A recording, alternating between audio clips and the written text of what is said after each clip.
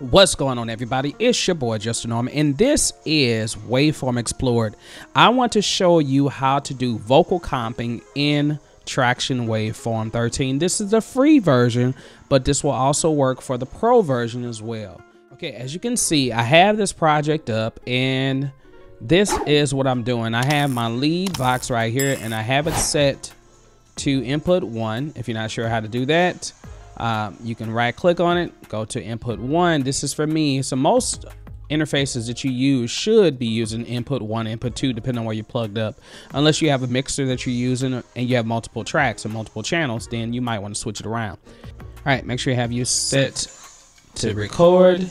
On here, on this track, I'm using the CLA vocals for right now.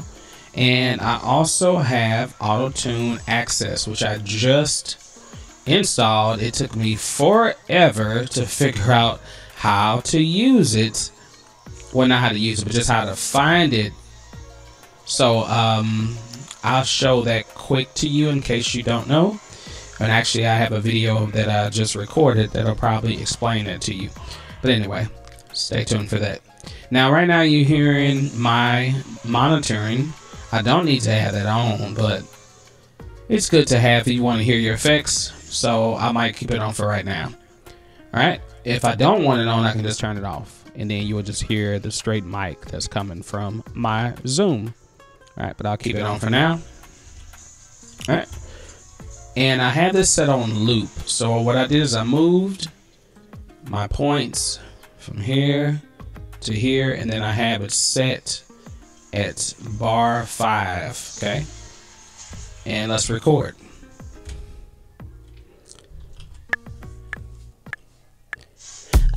My mama that I never fall in love again. I guess I was wrong. I told my mama that I never fall in love again. I guess I was wrong. You're going to see a plus sign that's right here at the bottom. And you need to do is click that plus sign. And then it's going to ask you, do you want to delete unused tracks? Un Do you want to delete unused takes? Right now, I only have two takes, so I'm not worried about deleting anything. Do I want to show takes or unpack the new tracks? Now, unpack the new tracks is if you want to take all your takes and put them on separate tracks, but I'm not going to worry about doing that. I just want to show takes.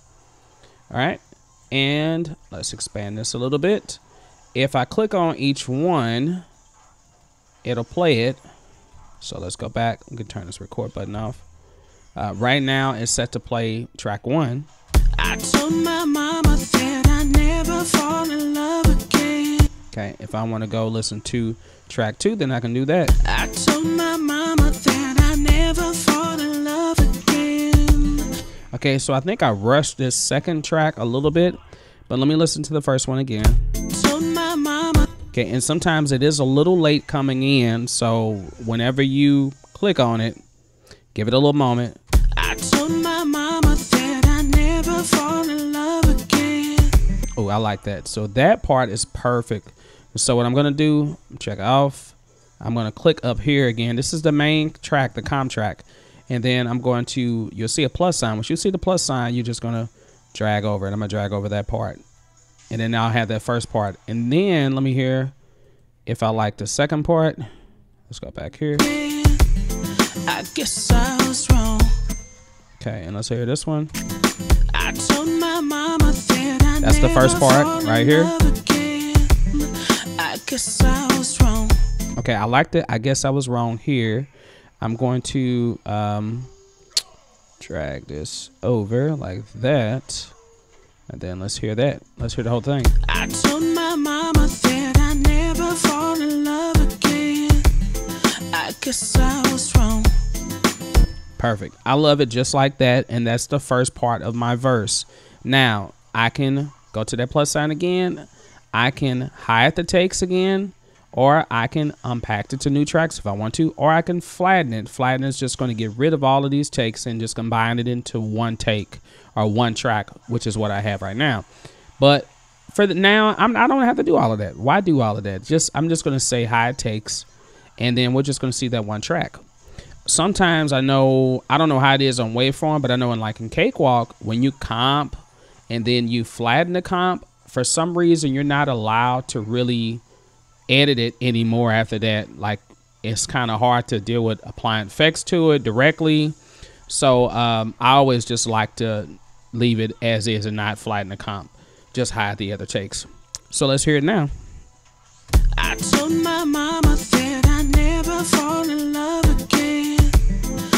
Guess I was wrong. Okay. And that's cool. Uh, let me hear it soloed. I told my mama that I never fall in love again. I guess I was wrong. Okay, don't really need no reverb though, but uh, I told my mama that I never fall in love again. this is the auto tune access, and this is what I'm using now. Right now, I have it set to the key of D minor, which is what we're in, and I have my medium retune speed, and I have my humanized to minimum. And I mean, it's a decent sound. It's not really activating so quick where it has that kind of robotic sound. This is what it sounds with it being off. I told my mama that I never fall in love again. This is what it on. Turn the power button on up here.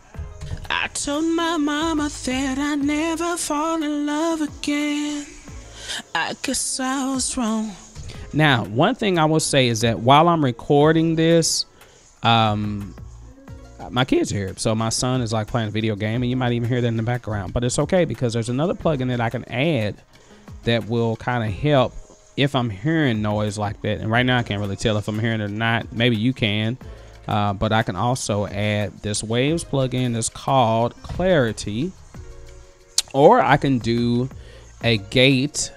Uh, but if you have any Wave plugins, if you like Wave or or any type of gate would help. But this one is really good because I use it quite a bit. The Clarity VX uh, mono. I think this is the mono is the one I need. And then I'm gonna add that to it. And let's hear this soloed. And I'm gonna turn. Um, I'm gonna bypass these other plugins for now. I keep the auto tune on, but you'll be able to hear. I told my mama that I never fall in love again. I guess I was wrong.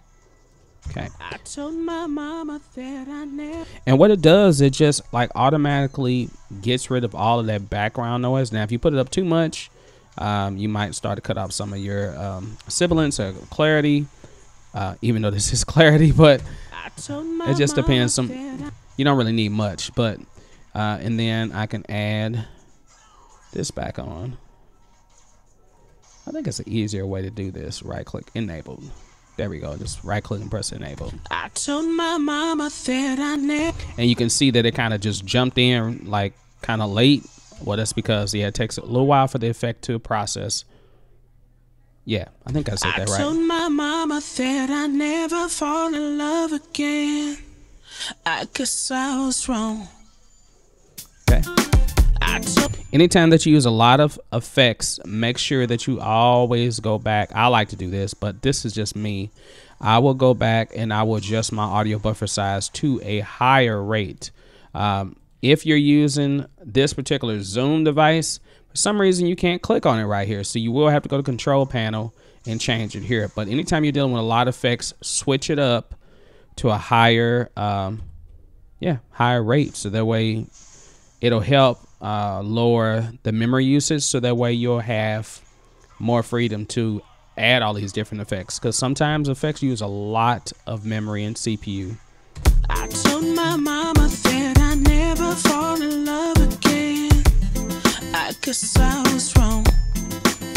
Okay. And that's it, you all. Uh, the Tracktion waveform. Hey, this is Just the Norm. I have another channel called Just the Norm, and well, I have a few channels. But if you found value in this video, please give it a thumbs up and make sure you, you subscribe to this channel. I'm growing. I'm almost at 250 subscribers, or maybe I'm at 250. I don't know. I, I haven't looked at it for real today. But thank you. Take care. And if you have questions, please leave a comment below.